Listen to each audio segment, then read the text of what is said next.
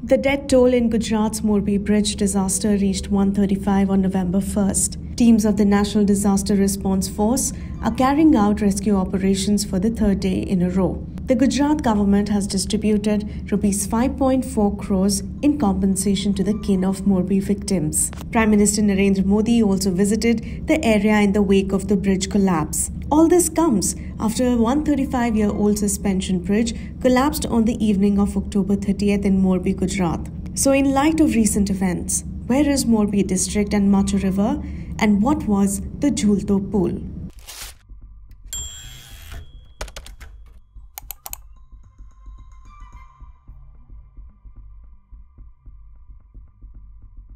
Morbi district was created on August 15, 2013. It has five talukas Morbi, Malya, Tankara, Wankaner, and Halwad. Morbi is famous for its ceramic industry.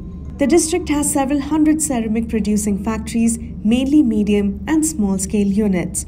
The yearly turnover of Morbi ceramic industry is rupees 50,000 crore.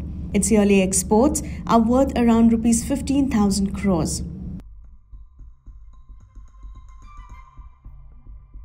The town of Morbi is situated on the Machchhu River, 35 kilometers from the sea and 60 kilometers from Rajkot. Machchhu is a small river that rises in the Matla Hills and flows 130 kilometers into the Rann of Kutch. In 1979, a major tragedy occurred after a dam on the river failed. Morbi town was inundated and a large number of people died.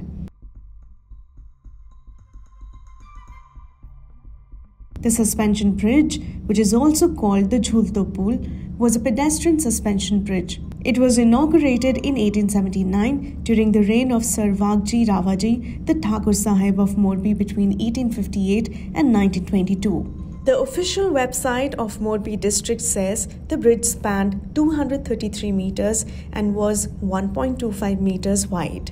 It connected Darbargarh Palace and Lakhdhirji Engineering College in the city. The suspension bridge had been closed for renovation two years ago and was reopened to the public only on October 26th.